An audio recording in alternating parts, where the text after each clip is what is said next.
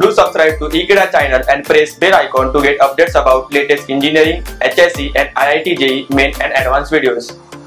Hello friends, in the last lecture we have studied about what is electronegativity as well as what are the trends and what are the factors that would affect the electronegativity. And now we are going to study about what are the difference between the electronegativity and electron gain enthalpy. But because the both concepts are almost same but yes they have a very lot more of difference. So what are those difference? Let us talk about that. So now we are going to discuss about what is the difference, actual difference between the electronegativity and electron gain enthalpy. So these are the difference that I am going to showcase you that what are the main uh, difference between the electron gain enthalpy and electronegativity. Talking about the first electron gain enthalpy, we know that electron gain enthalpy is nothing but the change in enthalpy that is accompanied when an electron is being accepted by a gaseous atom.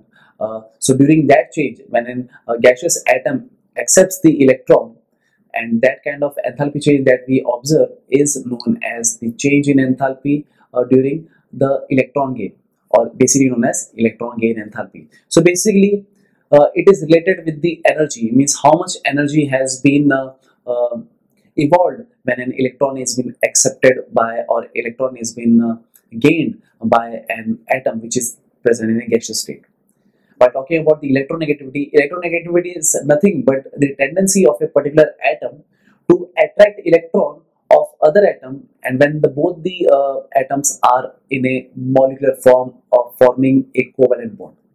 So this is what we have discussed uh, earlier also. So basically electronegativity deals with the ability to attract electrons and it has nothing to do with the energy just like the electron gain enthalpy. While electron gain enthalpy has a, a relationship with that of the uh, energy that has been produced uh, during that process. So these are the main two differences that uh, we have discussed right now. But yes, there are other two differences also. So other difference also. So let us talk about that differences. So talking about the first one, that is, it is a property associated with an atom in a compound. Yes, electronegativity deals with an atom which is present in a compound forming a covalent bond usually. So in this case, usually what happens is whenever an atom which has a tendency to attract electron, it will depend on the other atom that uh, to which it has been associated to form a covalent bond uh, in a compound. So it depends on the atom also. While uh, it uh, while talking about the electron gain enthalpy, it is related to the process of addition of electron to a gaseous atom. So in this process, as according to the definition also, it is a process uh, where the electron is being accepted by a gaseous atom and the energy has been uh, released during that process or during that what would be the change in enthalpy. So it is associated with that. So these are the main two differences that we have talked about. Earlier also we have talked about according to the definitions but uh, now these are again the two differences. But let us talk about the another one. Yes. Now we are discussing about the first point as you could see here in this case that it is a property independent of physical state. While electron enthalpy involves atom in gaseous phase. So talking about the electronegativity electronegativity doesn't depends upon the phase of a particular uh, compound. Might be it might be a gaseous phase physical phase uh, that is a, a solid phase or a liquid phase it will not depend on the phase but it will only depend on the tendency of a particular atom to attract electron whether that would be in any state it uh, has no relationship with that. So that's the reason uh, when we are uh, estimating that what would be the electronegativity of uh, the uh, chlorine atom in HCl so even that uh, when we are concerned about the chlorine atoms electronegativity so in that case we don't mention that what would be the electronegativity in gaseous state or what would be the electronegativity in uh, uh, solid phase. So therefore, electronegativity is just an ability to, or we could say a tendency to attract electron. So that is it, and it has no relationship with that of a physical state. But uh, as per electron gain enthalpy, it has been clearly mentioned that the electron should be accepted by a gaseous atom. So when it comes to a gaseous atom, so they are specifying that it should always present in a gaseous state and uh, there is no chance of talking about uh, uh, solid phase or liquid phase so therefore it deals or it specifies a gaseous phase that is what we have talked about and which the atom should be in a gaseous phase so as uh, we could detect uh, that what would be the change in um, electron gain enthalpy or what would be the change in enthalpy when the electron is being gained by an atom. So that is the specificity of electron gain enthalpy. So this was the difference. Again, a major difference uh, for which we have differentiated these two terms uh, that has a uh, vibration of uh, while pronouncing electronegativity and electron gain enthalpy. So again, the electron electron, the both are same, but yes, there is a huge difference between these two concepts and uh, these two properties. Uh, so let us talk about the other one that we have. Yes, it is not a measurable property, while electron gain enthalpy is a measurable property. Talking about the electron gain enthalpy, this is the first uh, property that we have uh, studied, um, and uh, in this case, what we have got to know that the change in enthalpy will depend on um, the uh, electronegativity or might be the nuclear charge uh, or might be the atomic size. So these were the factors that would uh, affect the uh, electron gain enthalpy. And in that case, what we have got to know that if nuclear charge is more or if atomic size is less of a gaseous atom, uh, then the electron gain enthalpy will be more negative or we could say electron gain enthalpy will be more. So in that case, what we have got to know that it depends uh, on uh, the nuclear charge as well as we could measure it because uh, enthalpy is something, a property that could be measured. So therefore, this is the property uh, that is electron gain enthalpy is a property that can be measured and uh, it will depend on the what we are talking about or what we are concerned about. For example, for chlorine, the electron gain enthalpy will be something different. While talking about the bromine, it will be different. So, but that can be measured that can be measured and that's the reason that the electron gain enthalpy is a measurable quantity but talking about uh, the electron uh, electron negativity uh, it is not a measurable property because it depends on the scale uh, uh, that was being uh, mentioned by the Pauling scale or um, Mulliken scale that we know so depend on that it it has a particular value. And again the value doesn't remains constant throughout. Meanwhile we cannot measure a particular electronegativity unless it is bound with uh, an another atom. And moreover it will also depend on the uh, other atom which is associated with a particular atom of which uh, electronegativity we are concerned about. So that is the thing. It is not a measurable quantity and it will change. And talking about the next so now the other difference that we are going to talk about is that for an element when it comes to electronegativity for an element it is not constant but for uh, electron gain enthalpy the delta heg that we could say that the electron gain enthalpy for an element remains constant. How? Let me explain you this.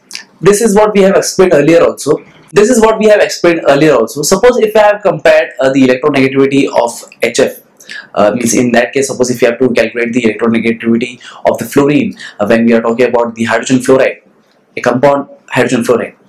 But uh, in that case, the electronegativity of fluorine atom would be different when we compare it with the methyl fluoride in which the fluorine atom would have other uh, electronegativity and that would be not similar to that of the HF when we have compared the electronegativity of fluorine.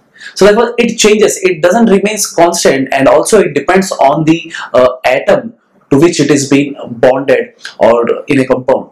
So it depends on the other atom also when we are comparing the electronegativity.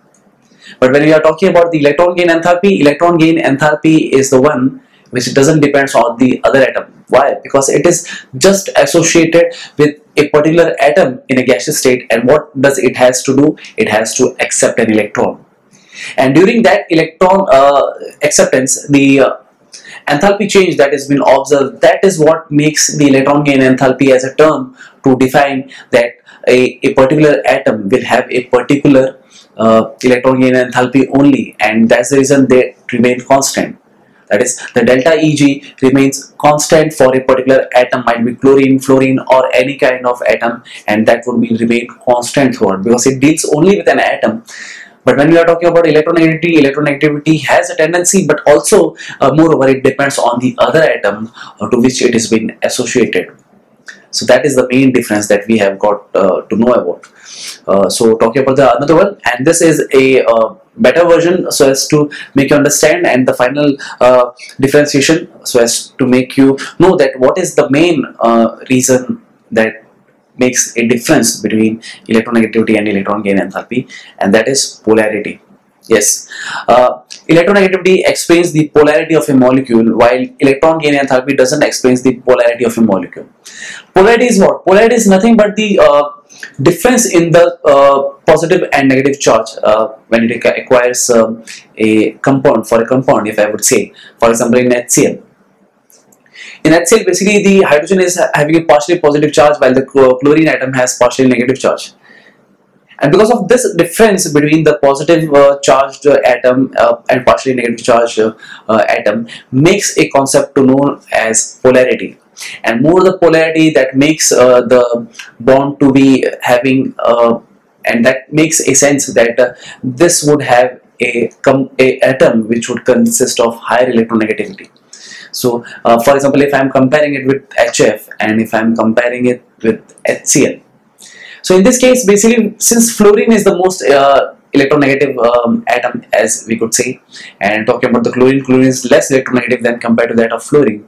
So in this case, the polarity if we measure, the polarity will be more in that case of uh, the HF because as we could see that the polarity is nothing but the difference between the charge difference uh, the it is nothing but the charge difference. So therefore the fluorine will have more uh, negative charge compared to that of the uh, hydrogen.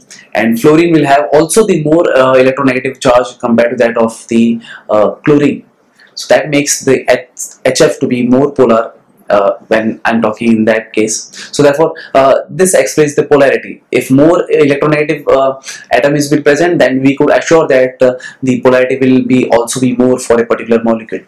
But when it comes to a talk about electron gain enthalpy, it doesn't explains polarity obviously because it deals only with the uh, atom that would accept electron and that would be the change in enthalpy that we could observe. So it doesn't explain the polarity and that makes an uh, difference between uh, this both two. And moreover we could say that the last statement that there would be uh, a similar uh, similarity between these two that is electronegativity and electron gain enthalpy when it comes to trends. Yes whenever we have studied that uh, about electronegativity or electron gain enthalpy so electron gain enthalpy will be more if electronegativity of a compound or electronegativity of a particular atom is more. So because electronegativity deals with the attraction of an electron uh, of the other atom towards itself, so it makes a uh, reference for us to understand that if electron is accepted more uh, and more easily or more uh, rapidly by uh, an atom and with uh, more strength. So that would make us uh, for a reason to understand that the energy that would be released or the change in enthalpy that would happen if an electron is been accepted by an atom that would be more. So therefore this both are also related to each other making a sense that if electronegativity of a particular uh, atom is more then obviously the electron gain enthalpy of that element uh, or that atom will also be more but moreover, we have also uh, saw uh, a reason that when it comes to fluorine and chlorine, this plays a reverse manner. Means, for example, if you say about fluorine, fluorine is the one which has a um, smaller size compared to that of chlorine. And moreover, we could say that uh, fluorine is more electronegative than that of chlorine. But in spite of having more electronegativity than chlorine, we have found in our earlier lecture also that fluorine has less electron gain enthalpy than that of the uh, chlorine. So even that plays a matter to understand that what is the concept between these two that is electronegativity and electron gain enthalpy. So that is what the main difference that I was going to talk about and I did. So thank you friends for my uh, for uh, watching this video and um, I hope you have liked this video and uh, I hope you share this video with your friends and uh, please subscribe Channel. So I hope friends you have understood this video. So thank you for watching this video. I hope you will study this concept more and more and uh, you share this video with friends and don't forget to subscribe Ekeeda channel. Thank you so much.